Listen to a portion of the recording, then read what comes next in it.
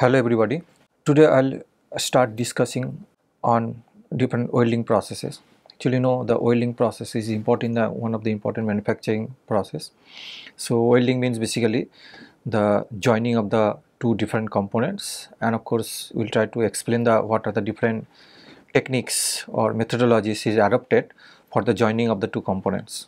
So welding means we understand that uh, there is a need to uh, fuse the material and to bond uh, bonding of the material may happen at the by simply melting of the both the material parent material or some kind of the solid state uh, uh, process welding process is also there where we try to join the two components or we bond the two different components without melting also. So if we uh, this is in general that is called the uh, welding and joining processes in general but of course there are other uh, joining methods also. But our focus is only on the on the welding process and more on the fusion welding process and the solid state welding process. That means uh, when there is a melting how the jo different joining occurs between the two components. And when uh, there is a we can uh, without melting also the two components can also be joined. So we'll try to explain all these principle phenomena uh, basic understanding of the heat transfer associated with the welding process so that we can understand the process in the better way. Now, thing is that is that possible to bring two metallic surfaces uh, together? It means that when you try to represent any metallic surfaces or try to join the two different components, so most of the cases we found that the surface of the metallic component is basically there is some contaminated layer and some oxide layers is always there in the metallic surface. So, we need to apply some amount of the energy to remove at least or to displace this contaminated layer or oxide layers and after that when the two metallic components are in contact then it is possible to join together. So, this is very ideal situation that means when two metallic surface bring together but that metallic surface not having any kind of the oxides layer or any kind of the contaminated layer then the at the atomic level this bonding of the two metallic surface is possible. So, that means in that cases we no need to apply any kind of the external energy just to join or just to oil these two components. So, this is the actually is a very ideal situation, but practically when we see the welding occurs we need to apply some kind of the heat energy.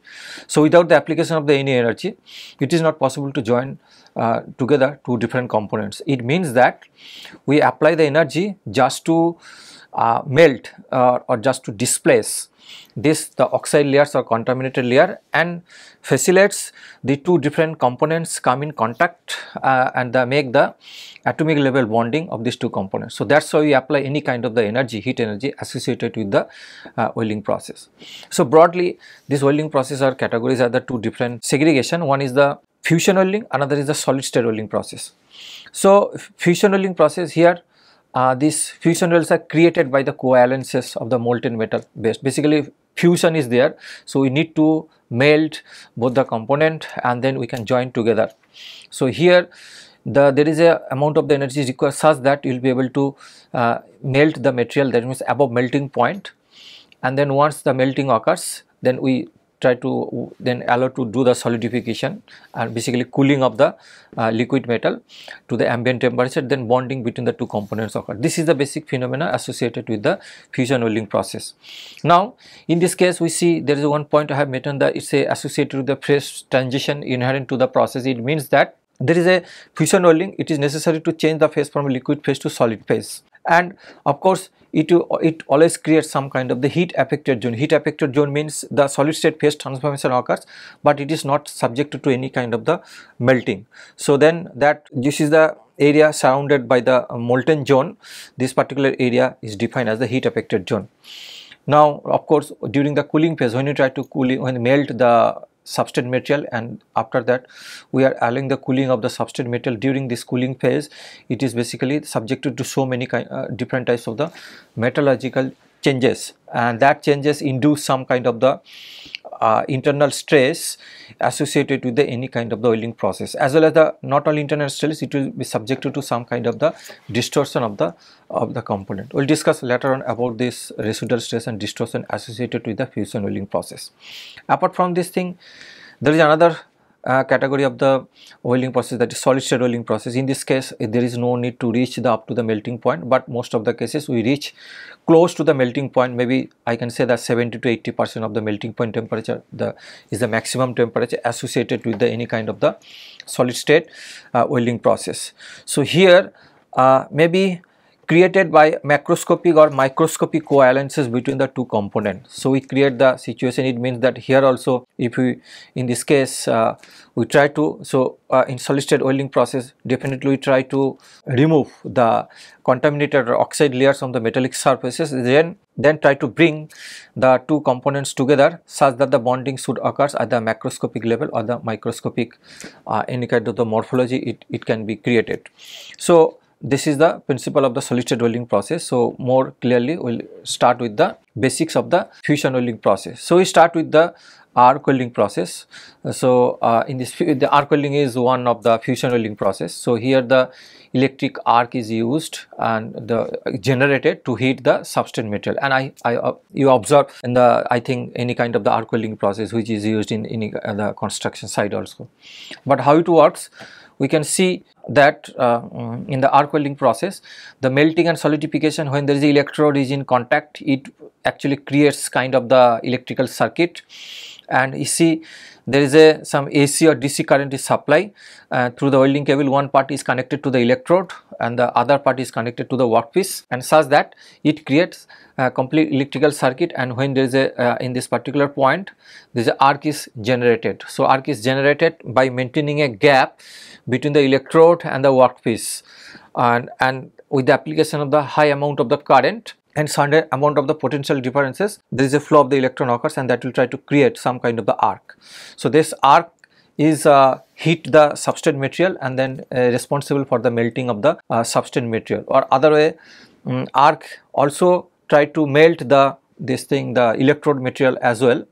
And then electrode material will deposited on the substrate material just to bond between the two components. So therefore, the melting may happen both side. It can happen to the electrode. In case of the consumable electrode the electrode can melt and other melting also happen to the workpiece.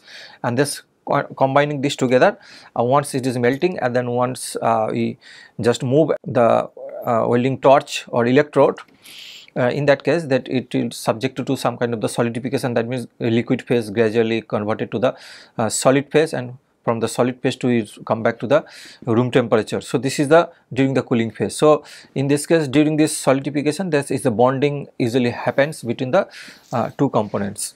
So, this is the way now the when you are talking about the electrode, so electrode can be utilized in the consumable electrode or some cases electrode can be non-consumable electrode. Both are both options are available and the current in these cases we can see the both either AC current or DC current anything can be used depending upon the type of material or type of the welding process we can use. So, this is called usually understood that this is the fusion welding process. Now, if we look into the uh, other process that means the transition welding process. So, in this case what happens that when the two parent materials are there and we apply the this another liquid metal from some electrode or some wire just melting the wire. And then this melting wire can be put into the gap of the two substrate material. But this this is the molten this is the molten wire but the substrate it doesn't help to melt the substrate material. So it just uh, this type of welding process is known as the the in we observe the case of the brazing and soldering uh, process. So basically brazing and soldering process since the it doesn't melt the parent material only the consumable materials melt here and that consumable material uh, uh, the molten metal is supplied between the two uh, components and then and then after certain period when the solidification occurs this it will try to join these two components. But uh, in this case this since it is not melting the parent material so therefore it is known as the transition welding process also. So brazing and soldering welding process is and soldering process is under this category of the transition welding process. Now there is a, another th third type of the welding process here I can see that solid state welding process. So, one example is the solid state welding process we can see this is the the two materials are there and the, at the interface we want to join the two material. So, at the interface there is some rotational tool. So, here heat will be generated the, by the friction between the uh, tool and the workpiece uh, because high rotational speeds makes the frictional heat generation and at the same time we will try to when try to move one particular direction this tool it will create the that uh, kind, kind of stirring action of the material. So, it is the plasticization occurs and mixing of the two materials are occurs which is plasticide in the due to the frictional effect. But in this case this is a specific morphology it will create when you try to join this thing but solid state it is called the solid state welding process in the sense that it is uh, the maximum temperature in this case is below the melting point temperature. So, basically not no melting is associated with this process and temperature can go up to 70 to 80 percent of the melting point temperature.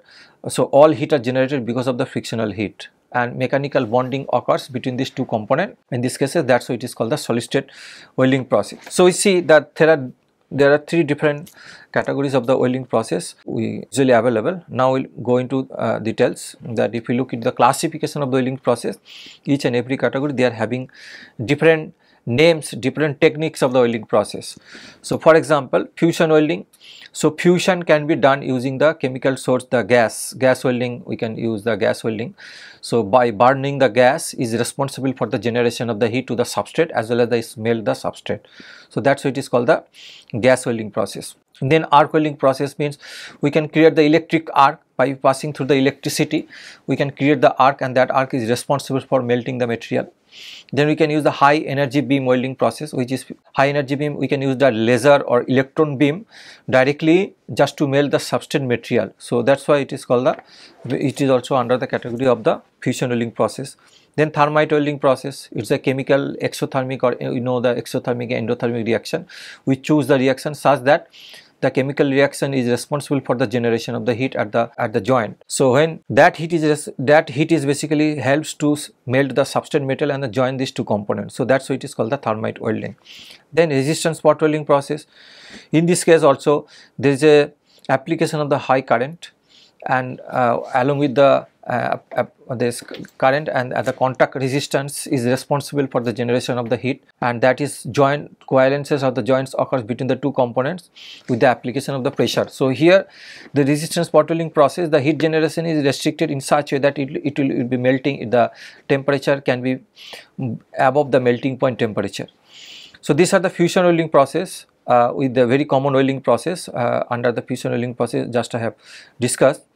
Then transition welding process. So, brazing and soldering process comes under the transition welding process that we have already discussed and there is a solid state welding process. Solid state welding process there are different types of the solid state welding process. One is the only friction welding.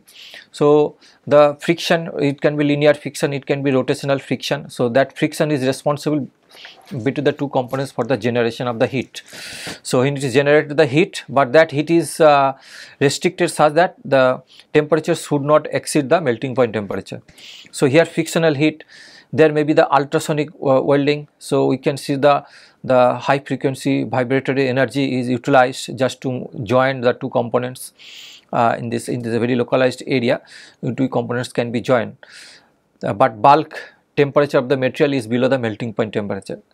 We can use some kind of the explosive and when you use the explosive it creates very specific morphology because our explosive can create the temperature can be go close to the sonic velocity and that sonic velocity will try to create some kind of the high impact on the substrate metal and it creates very specific morphology and that morphology is um, bonding joining the two components but it is in under the solid state welding process there is below the melting point temperature.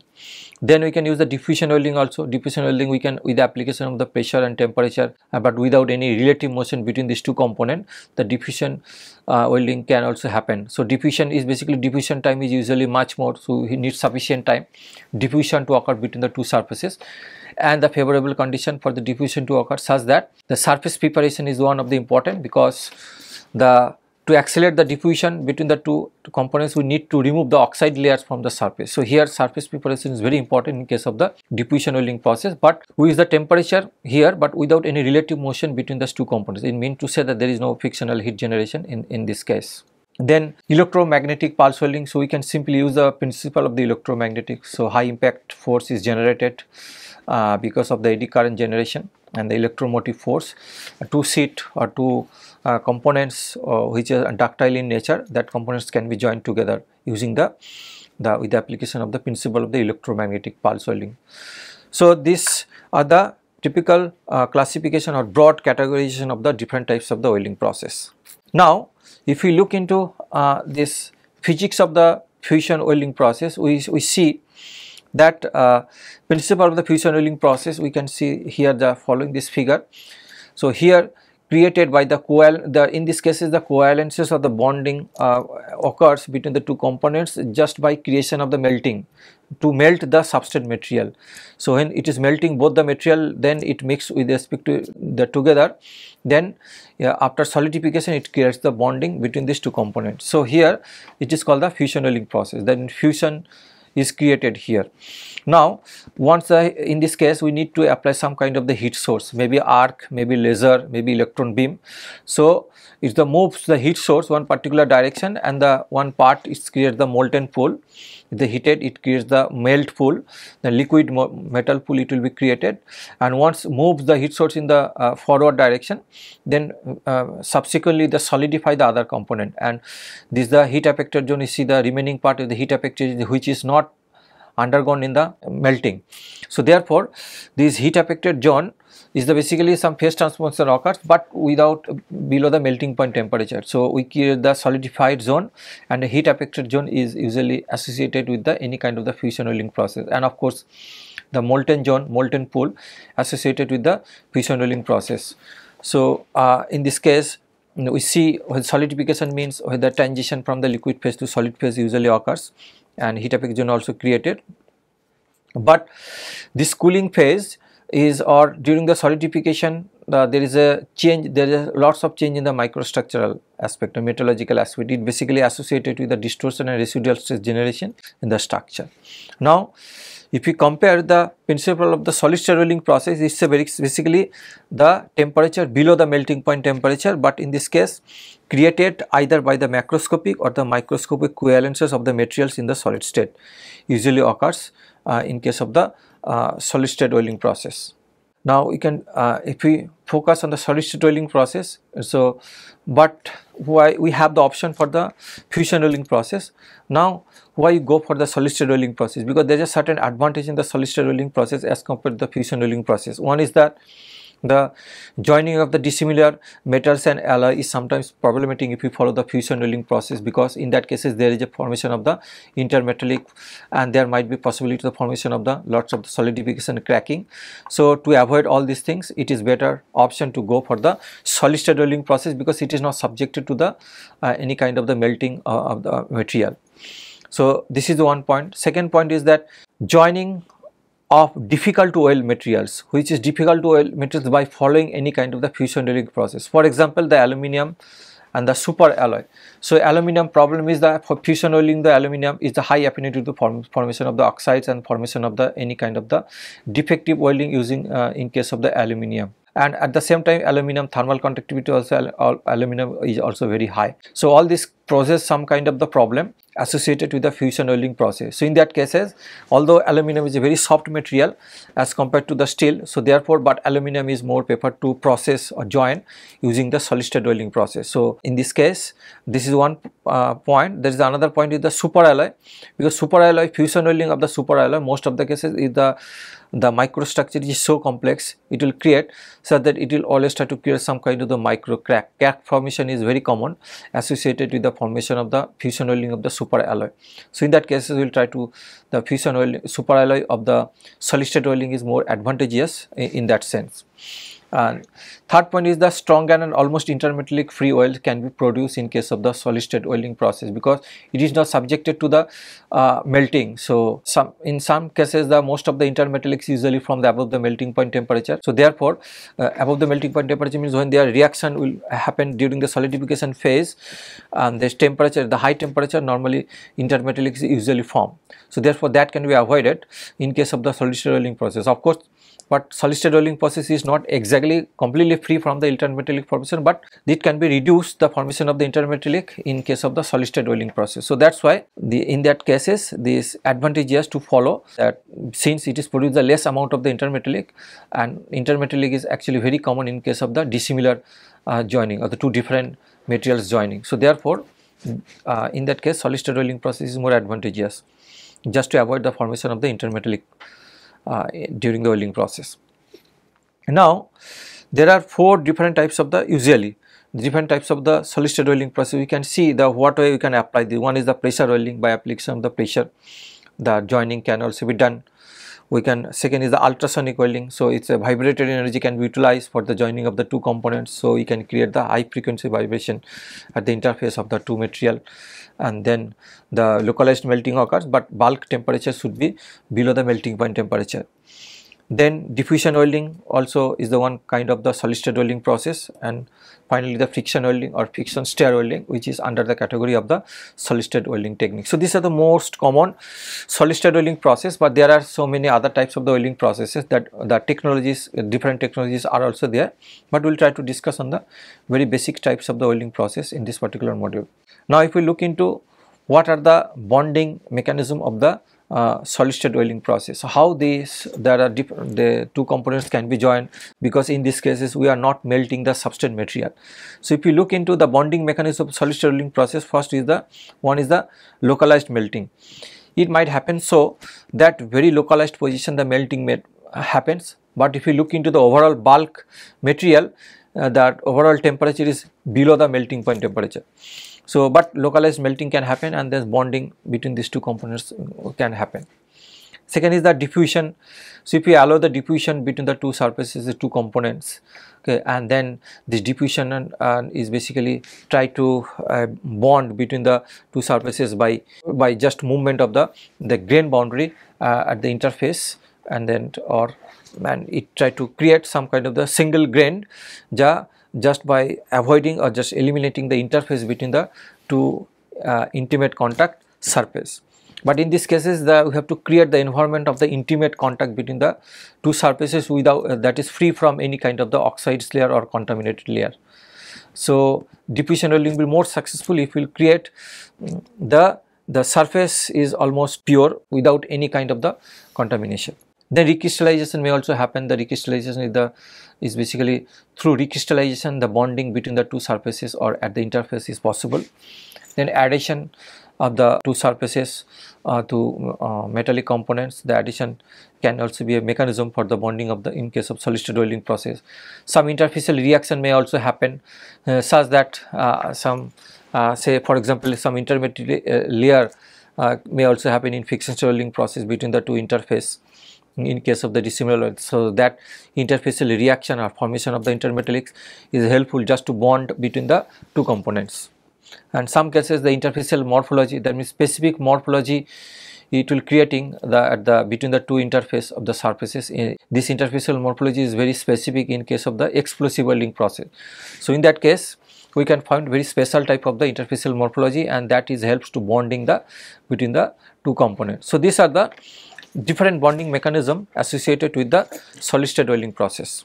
Now, we will try to look into the physics of the arc welding process. So, physics of the arc welding process we know that uh, we, we, already mentioned that power source it can be AC or DC even it is DC then we can connect the complete electrical circuit we need to produce such that electrical energy is basically converted to the thermal energy in case of the arc welding process. But we see the connectivity can be like that the, the electrode one side is the electrode another side is the workpiece. So, it may happen so that workpiece can be negative and electrode can be positive or other way electrode can be negative and workpiece can be positive. So, depending upon the applications we can change the, the different we can fix the different polarity associated with the any arc um, arc welding process. Now, in arc welding process basically if you observe the arc welding process usually the current is very high but voltage is actually low uh, in this case. So, basically voltage is try to maintain the specific arc length because when you are creating the arc, so we are not exactly the maintain some certain gap, very small gap between the electrode and the workpiece. So, within that gap the arc is basically created. So, this arc gap is mainly controlled by the what is the total voltage apply in the electrical circuit and the melting efficiency or maybe heat generation associated with the either electrode or either workpiece it depends on the what is the amount of the current we are applying during the welding process. So, it is having different role here. So, current is basically responsible for the amount of the heat generation but voltage is mainly responsible to maintain the particular arc length. So, if we if we uh, try to vary fixed certain arc length we see for certain arc length we need to apply certain voltage in the, in the circuit. So, these are the importance of the voltage and current ap applicable in specific to the welding process uh, you can see but there is a role of the polarity also that means whether which we should put the positive uh, terminal to the electrode or positive terminal to the workpiece it depends on the the application. So, there are two options one is the but DC current I am talking about the DC current but DC current which we can choose the polarity.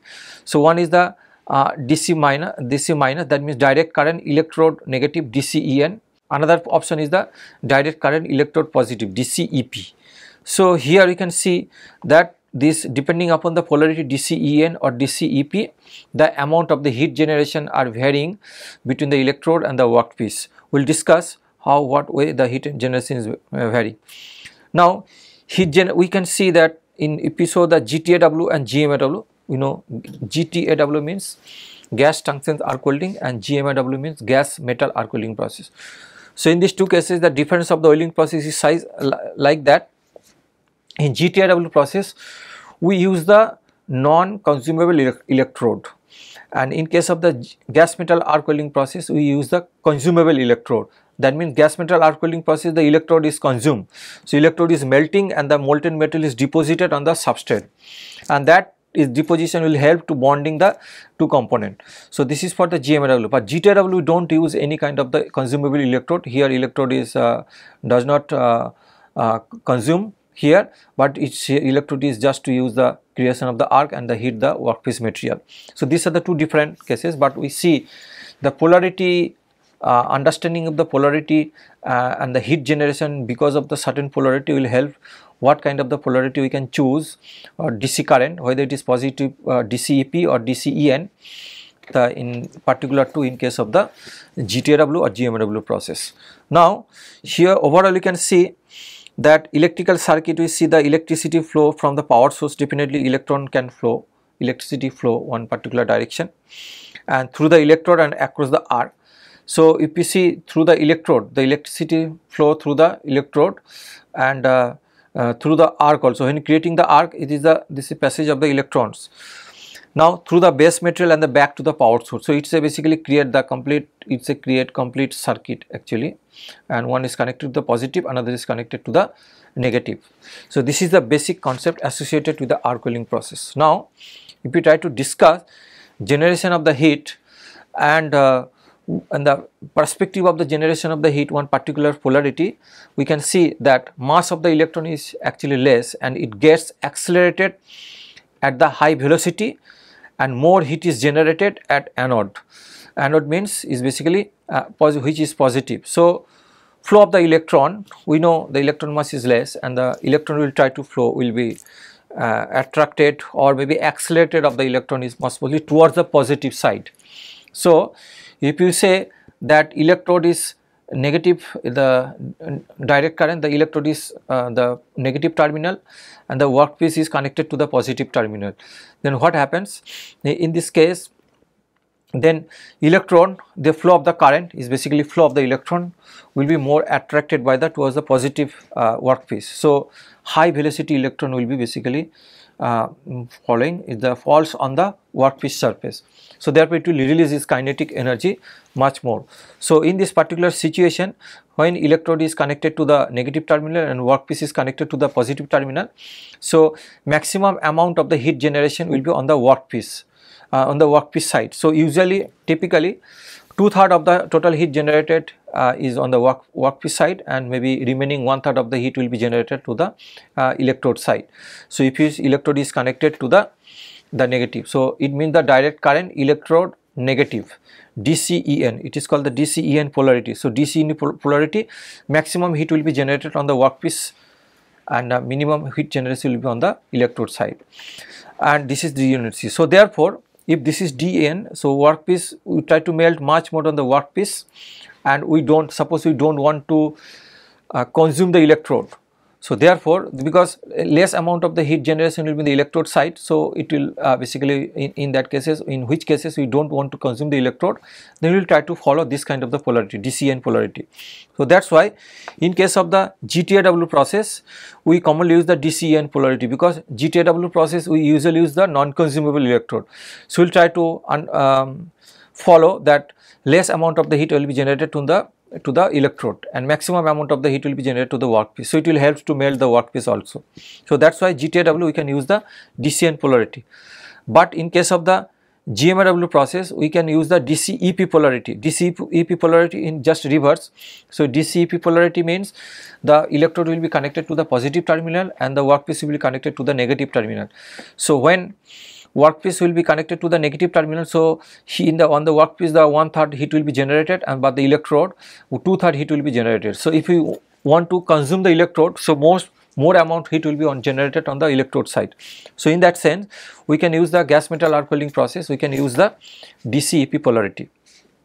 So, basically we say that DCEP polarity is used consumable electrode welding process and uh, basically and the and in case of the uh, very thin sheets if we try to join those two uh, component. So, these are the understanding of the heat generation for the different polarity DC polarity, but with certain cases we can utilize the AC current also, but AC current the polarity actually changes in every half cycle.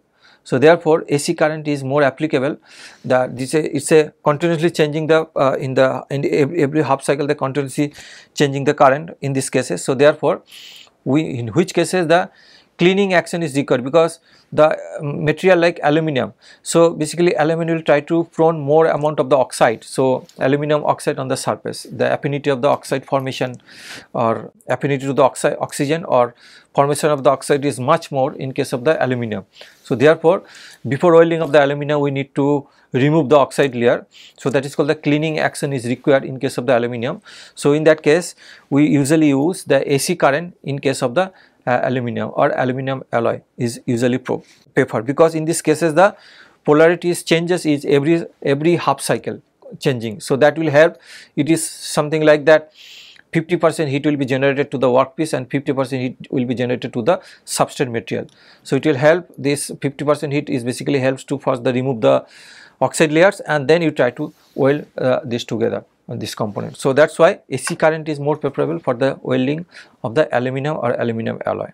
Now, if we look into different energy sources for the welding process, we see that what uh, energy is basically is produced, we see that there is a different source of the energy is required in the welding process just to bond the two two components the and that will helps to somehow this energy is required to generate the heat when you try to make the coalescences between the uh, two components and that is that is the you know that is the principle of the welding process. Now, if you see the categorization of different types of the energy sources which is usually used in case of the welding process, one is the electrical sources. Electrical sources means we use the electrical energy available from the AC or DC current or DC source or DC power source, we can use it for the welding process. So, example is the arc welding process, resistant welding process, electro slag welding process, all these kind of welding process we can use the, the energy for the welding is the electrical energy, electrical source. In some cases we can utilize the chemical sources, for example, chemical energy store uh, in the different form and that can be converted to the useful heat because the chemical energy in this cases the chemical energy is sto stored chemical energy is converted to the heat which is one example is the oxyfuel gas welding process. So, oxyfuel gas with the mixture of the oxygen and acetylene that actually the burning of this gas with the proper mixing ratio between the oxygen and acetylene will helps to heat the substrate and join together. So, that is the chemical energy is basically utilized here the is converted to the heat energy.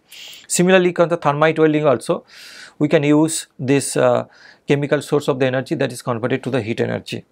Similarly, there are other form of the energy for example optical sources. Optical sources the in this cases focused beam is usually used that is the electron or laser beam we can use uh, according to the law of optics. So, it is the laser beam or electron beam which focused as per the law of the optics on a particular area. So, that is why and it is called the optical sources and it's basically very high power density is possible to achieve uh, in this particular case. So, that's why we say this is the one category of the energy that is called the optical source of the energy. So, example of the optical source of energy is a laser beam welding process and electron beam welding process then there is a mechanical sources also. So, mechanical sources it's actually involve some type of the relative motion between the mechanical movement between the two component which actually produces some kind of the heat energy. For example, friction welding. So, if you do the ro rotation or linear friction between the two components, so this frictional energy will basically generate the heat and we can utilize the heat for the welding or bonding of the two components. Similarly, ultrasonic energy also here also very localized position high vibration between the two components is basically vibratory energy is converted to the frictional energy frictional slip between the two components. So, in that cases we can use the ultrasonic welding process and explosive explosion welding also we can use the mechanical sources because we create the high impact uh, high impact velocity for the, the sheet metal just to bond between these two components. So, a high impact sheet coalition between the two components when happens to sheets metallic sheets happen then they create particular morphology and then bonding between these two sheets. So, in that cases we say all this kind of the welding processes the we use the mechanical source of the energy. Then solid state source solid state source means in this case this absence of the any kind of the relative motion so or any kind of the mechanical sources. So basically here we can solid state so we can say characterized by a lack of motion in in contrast to the mechanical sources. So it's like diffusion welding process because diffusion welding process we don't move there is no relative motion between the two components. We just fix two components and with, uh, we apply the the uh, this uh, pressure and temperature just to bond the between these two components. So, this we consider this type of welding we consider under the solid state source. Now, if you look into this uh, arc welding power source, we are talking about this power source DC AC, AC current or DC power we can utilize for the arc welding process, but there is a other perspective. We can say the arc welding power source can be two different way. If you remember the arc welding power source is basically in welding arc welding process we use the voltage and current both are required but how to control uh, this current and voltage what is the impact of this uh, controlling of the current and voltage for the different types of the welding process based on that we can see there are two different types of the power source into different categories can be classified one is the constant current or falling characteristic power source or other is the constant voltage or flat characteristics power source. So, these are the two different types of the power source. It means that what we apply the power uh, to the welding unit. So, it is either we can supply the power at keeping current as a constant current or we can supply the power keeping voltage as a constant we can vary the current here in this case our first case is constant current we can vary the voltage depending upon the applications area. So, these are the two different ways we can categorize is the falling characteristic power source or flat characteristic power source. So, first is the constant voltage power source. Constant voltage power source we can see that in these cases so maintain the preset voltage or the relative arc length in case of the um, constant voltage power source. So, basically constant voltage mean if you remember the constant voltage you are talking about this uh, voltage is more related to the to the uh, the arc length. So, in this case we try to maintain the uh, if there is a constant application of the power as a constant voltage means the uh, we maintain more or less the constant arc length. So, there is no variation of the arc length uh, it remains more or less constant. So, then in that cases to maintain the arc length as a constant we need to apply the remaining the voltage remains the constant. So, in that case this type of the power source we can utilize in case of the semi-automatic arc welding process because semi-automatic arc welding process possibilities are there that we try to maintain the arc length as a constant. So, in that case we use the constant voltage power source. So, we see that the in the flat this characteristic something like that is a the sharp this dropping uh, characteristic gradually the it's a linear this uh, relation between the voltage and current uh, in, in this case. So, it is a basically downward or negative slope. We can use the uh, this thing because this this voltage indicates the uh, open circuit voltage. Open circuit voltage the potential difference available in the welding system. This is the open circuit voltage. But when you start of the welding process that gradually voltage if the there is a uh, this uh, I think voltage is decreasing uh, current is basically increasing voltage is decreasing. But the rate of what way the current is increasing and voltage is decreasing this is follow some kind of the linear and the dropping characteristic. If you remember we use the we say the what constant voltage of the flat characteristic power source. So, the it is the flat characteristic power source this is the changing of the voltage with the increasing of the current is the the flat way that uh, this uh, uh, linearly it is basically changing uh, this thing in a, in a welding system. Now, we see this particular uh, type of the uh, power source is basically when is the automatic welding process we try to set up the automatic welding process semi automatic welding process. We use the power characteristics following the constant voltage. But if you look into the other constant current power source you can see the sharply dropping characteristic so how voltage and current is basically changing. The voltage is basically decreasing. Here also voltage decreasing with reference to the open circuit voltage but decrement is not linearly. Here is the sharply dropping very quickly dropping characteristic with increasing the current here with increase the very quickly the voltage drops here. So, this type of the power source is basically used for the manual arc welding process. So, because in manual arc welding process when you try to do do perform the welding process by hand by your hand. So, in that case we can see that it is very difficult to maintain that the gap between the electrode and the workpiece as a constant. So, in that case there might be some variation of this the uh, arc length can vary. So, when we are allowing the arc length to vary, so then in that cases it is necessary to try to adopt the variation of the the voltage, but in this in this particular system we can keep the melting rate as a constant, the current remains constant, but voltage we are allow more allowed to vary uh, because there is a variation of the arc length. So, that is why in this case the we maintain the constant current, but as for the variation of the uh, this uh, manual arc welding process when there is a variation of the arc length then voltage variation may happen in this case. So, that is why it is called the constant current uh, or sharply dropping characteristics uh, power source.